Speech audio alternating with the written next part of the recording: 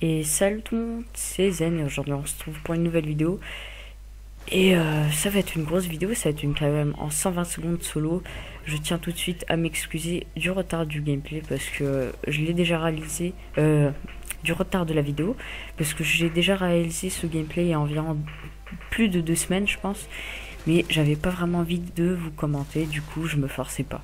Au départ je voulais vous faire une vidéo... Euh, tuto spawn sur la map Fright, mais 2 euh, minutes 45, euh, c'était pas assez pour vous parler des spawns sur cette map. C'est pour ça je vais faire une, autre vidéo.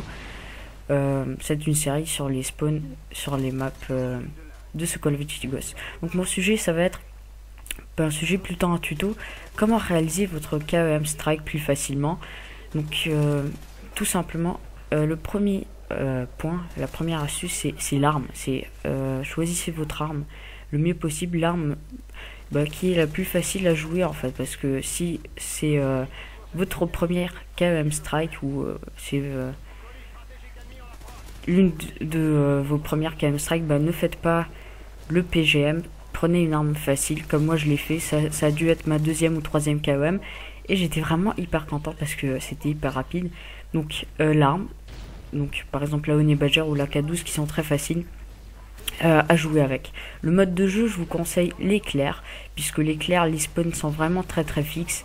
Et si vous jouez solo, c'est un peu plus difficile de les contrôler. Mais si vous jouez en groupe, c'est vraiment très très facile de, les contrôler. De toute façon, la plupart des gameplays que vous voyez sur YouTube, c'est soit en éclair, soit euh, domination. Mais je vous conseille vraiment l'éclair. C'est comme la démolition de Black Ops 2.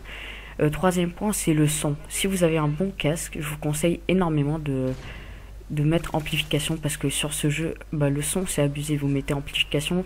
Déjà sans amplification, vous entendez très bien, mais amplification, vous allez entendre vraiment hyper bien. Et si vous avez en, plus un casque euh, vraiment de très bonne qualité, bah, vous allez vraiment pouvoir entendre les ennemis à très longue distance. Et le quatrième facteur, c'est la chance. Donc vous voyez, j'obtiens ma KM Strike, je la lance et la partie elle se finit direct. Donc euh, le quatrième facteur, ça va être la chance. Donc ça, je peux pas vous donner de conseils. C'est vraiment, il faut tomber dans un bon accueil contre des gens qui euh, qui campent pas, qui jouent bien. Et euh, bah, c'est la chance, quoi. C'est vous n'allez pas toujours faire des KOM, même si vous suivez mes conseils ainsi que euh, d'autres conseils. Bah, vous n'allez pas toujours obtenir une KOM. C'est pour ça il y a ce facteur chance. Donc la vidéo arrive à sa fin, donc touche à sa fin, désolé. donc merci d'avoir regardé la vidéo. N'hésitez pas à liker, à commenter et pourquoi pas aller voir ma chaîne. Merci.